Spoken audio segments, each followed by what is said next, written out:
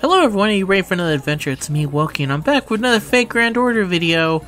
I was gonna get ready to start doing a bunch of work things and not have to worry about making a video. And then I logged into Fago, and then I saw Arjuna Alter was coming up in a upcoming banner, and I did not notice that.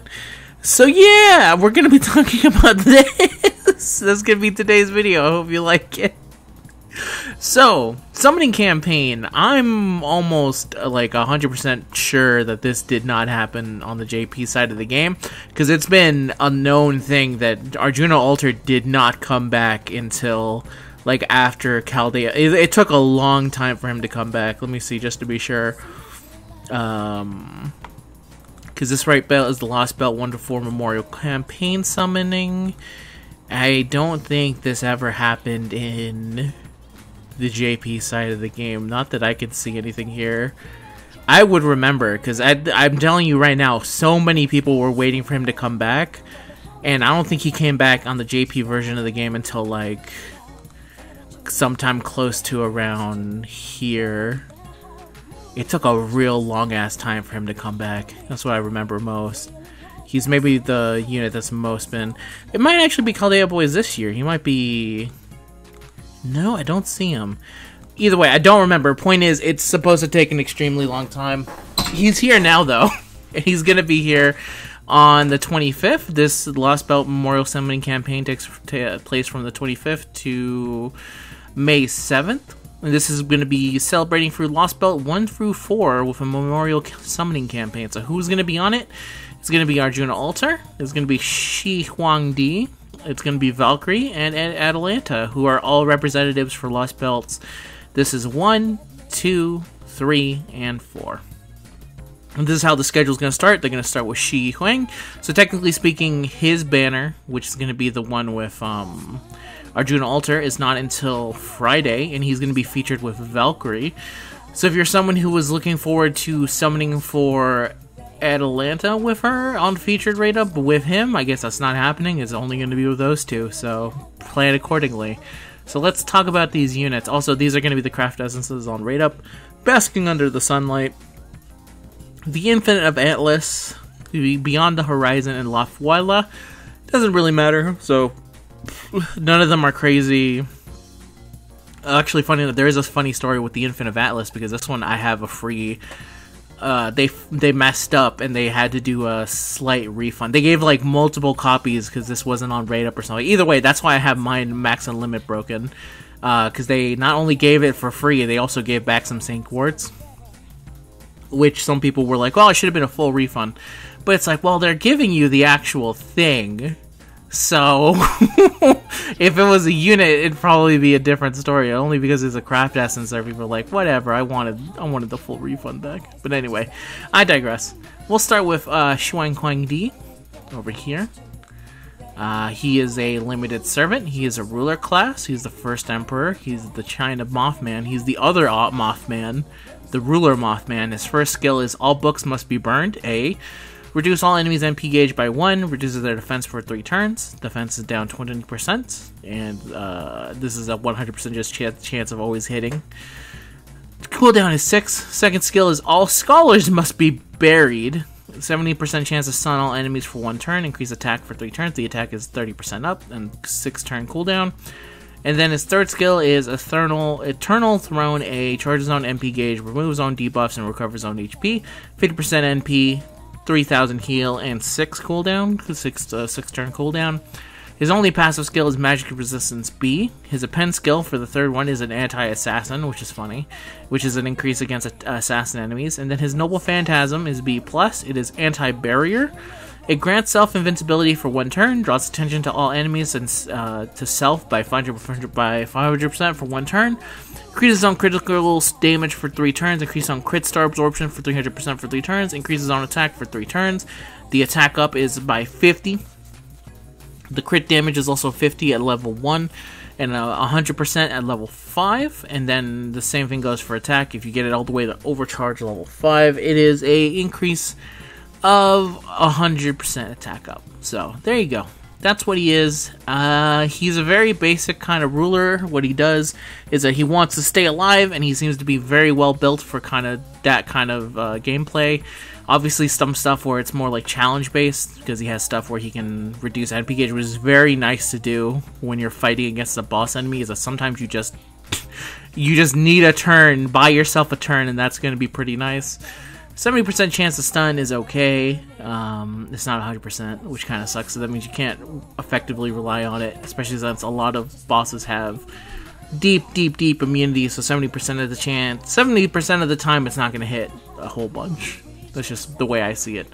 But hey, if you're super lucky, then it'll get hit. And then this is a nice 50% NP charger, and then heals up. Uh, yeah, I think he's very effective at what he's trying to do. Just not a lot of cases of like, he's definitely not a unit you're gonna bring to like the grind fest. He's not really built for that. He's built for surviving, and that's basically it. And as long as you're using him for that method, I think you're going to be pretty well off. He is a ruler, so he doesn't really have type advantage, but it means that he's also not really uh, disadvantaged except for in some very specific matchups. So you're going to be fine most of the time. But there you go. That's the that's uh, Shi Huang Di. If you have anything else, if you're a big uh, Huang users, also forgive me if I'm saying the name wrong. It's not on purpose. I don't know how to say it. Um, feel free to tell me anything about them. Okay, so I'll look at Atlanta Alter. She is a four star, but still, she is not limited at all. She's just always on banners. Same thing goes for Valkyrie, actually. She's two quicks, one arts, two buster, berserker class. Her active skill, this eventually changes into demonic habituation. Um, EX, which upgrades after an interlude. It is an increase in the critical star absorption for one turn, gains crit stars, increases on critical damage of buster cards for one turn, 6000% absorption rates, 20 crit stars. Buster damage up, buster crit damage specifically is 50% up. Second skill is Crossing Arcadia A, increases party quick uh, quick performance for one turn, 50%. Wild Beast Logic B grants self evasion for one turn, increases own crit damage for three turns, 50% up in crit damage. So it's a shame she only has two busters, because this combined with that, it's 100% crit damage, which is nice. Passive skill, Beast 4B, increases old buster performance by 8%, increase on crit star generation rate by 8%, independent action A, increase on critical damage by 10%. Her third skill is anti-archer critical attack chance resistance, increase on crit attack chance resistance against archers. And her noble, phantasm is rank A, the arrow that eclipses the somber sky. It's anti-unit. It deals damage to one enemy. It seals their NP. The damage is 12,000 at level 1, and at level 5 it's 2,000. And then also it inflicts curses for 5 turns. At charge level 1, it's 500 curse damage, and if you get it all the way to the final curse damage, it's uh, 2,500. So, hmm yes, that is Atlanta Alter. Not really much to say. She's not a limited unit, so it's just kind of a nice unit to have, I guess. You can use her. Again, I've said before, Berserkers without guts tend to be. Even though she has evasion, that, that one turn is not going to be enough. In difficult quests, she's really going to just get chewed up for the most part. She doesn't have a lot of protection from anything.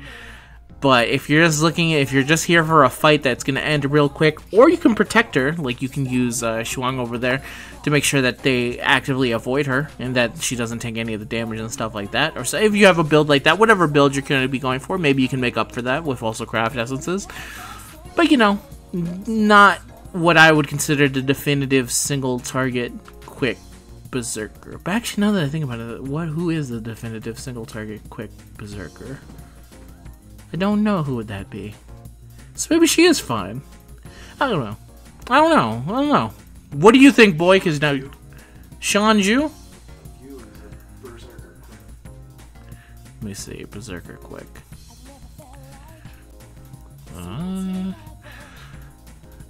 uh where is Lancelot's uh, noble is uh, AOE. Yeah, Shuangyu is also AOE. That's what I'm saying. Single target specifically. Single target quick. Is it Say? Is Say really the the single target? No. Increase on damage against servants, enemies. Sei is the, the the newest one. Man, there really isn't that much quick single target berserkers. At least in that, not many that have. Oh, is it no Hijikata's Buster? Yeah, I don't know. This is I've never actually sat down and looked about and thought about the single target specifically for quick busters. There's only three.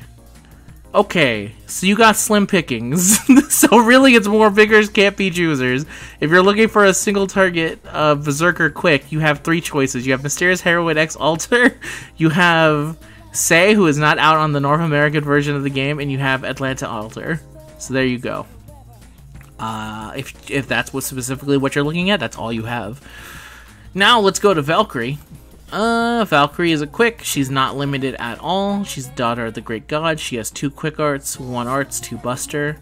Her first skill is Primeval Rune, increase on quick performance for 3 turns, increase on NP damage for 3 turns. The quick up is 30% and the NP damage is 20%. Second skill, Suavenit Swan Mystic Code, grants self evasion for 1 attack 3 turns, grants self debuff immunity for 1 time 3 turns. Reduce attack damage taken for 3 attacks 3 turns. Damage taken down is 1000, 6 turns. Third skill is Fate Weaver B, charges on NP gauge every turn for 3 turns, increases own HP every turn for 3 turns, Great, gains crit stars every turn for 3 turns, 10% NP regen, 1000 uh, HP regen, star regen is 10, Magic Resistance B, Divinity A is her passive skills. Her third append skill is a anti-rider attack damage aptitude, which is increased damage against riders. And her noble phantasm is the Ragnarok Lífþrasir, or Final Phantasm Girl's Advent. Seven hits, quick AoE, ignores evasion for one turn, activates first, deals damage to all enemies. At level one, it's six it's six hundred percent. At level five, it's one thousand. Chance to instant kill demonic enemies. Charges one thousand. Uh, charge level one, it's fifty percent chance. If you get it all the way to charge level five, it's a one hundred percent death rate. Okay, Valkyrie. So Valkyrie is actually one of the best quick uh, Lancer for grinding. I think the only one that is better is Parvati, who Parvati is just insane with how much NP generation rate is goes up. I want to say it's between her and Valkyrie for who is the best at that point. I unfortunately have never been able to pull Valkyrie, which is a shame because I really wanted to use them for quick grinding for when I was in the crazy quick meta for it. kind of a shame. But you can definitely still use them for that. They seem to be perfectly fine. They were definitely one of the better quick grinders from back in the day, and I think you can still use them for that, and it's going to be no real issue. I don't know what specifically about them seems to be doing. Maybe it's just because they hit just enough. They have the bonus of being able to increase their NP gauge, and maybe their rate up is just that good, but for whatever reason, I remember she's one of the best ones. And the same thing can be said for Parvati. So if you have one of those two, chances are if you have Parvati, I would probably lean more towards Parvati because that's the one I use the most, so maybe I'm biased on that. But Valkyrie is also insanely good from what I can remember, so something to keep in mind. So there you go. That's Valkyrie. Definitely a good unit. Definitely worth having. Kind of a shame I've never been able to pull her. Out of all the cards I've pulled and not... I've actually got Liz to NP5 most recently. And she's Lancer. I would have much preferred Valkyrie. Anyway, messed up, but it's the truth. Final, the limited servant. This is the big boy. Everyone loves everyone's favorite Arjuna Alter. He is insane. I shouldn't even really need to say his skills. There's no reason for me to say his skills. How many times can you just say this guy's fucking good? That's all you need to know. I'm not even gonna read his skills. I'm not gonna say he has guts. There you go everything I said about the Berserker class suffering from, he doesn't do anything. His Noble Phantasm, it's AoE. It does about as much damage as most units do in a single target. It's insane. It reduces their buster resistance. This man is a god. He's one of the greatest. He's the definition of why did they build him like this? This is stupid. Most games would call this power creep. This game calls it as lore accurate.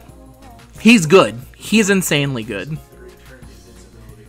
he is good. There is nothing really more I can say about this other than he's really good. But now here's the question that has to be answered Are you going to be summoning for him over someone like Morgan, Oberon, Vich, one of the summer units?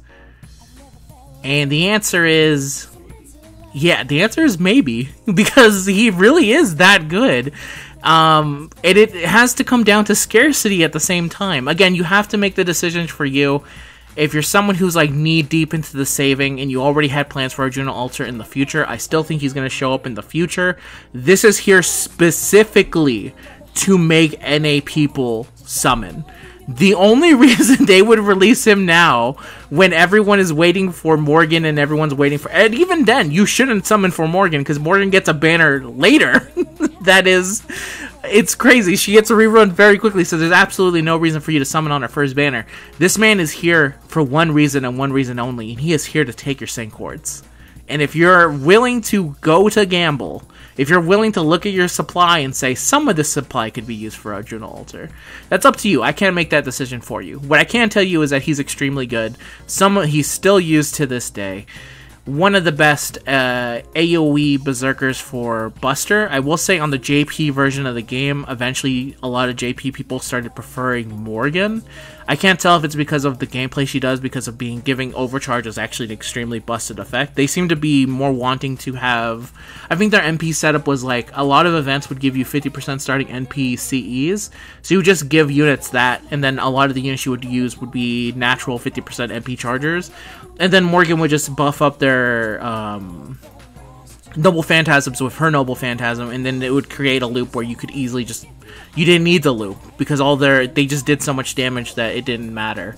You just had uh, three unit berserkers, and they were able to just kind of wreck shop from there. But anyway, eventually people on JP would have preferred her over Arjuna Alter, but I don't know if that's going to be the same over here for NA, and I don't know specifically if it was a widespread thing all I know is that he's good. If you're going for him, it's a good it's a good move.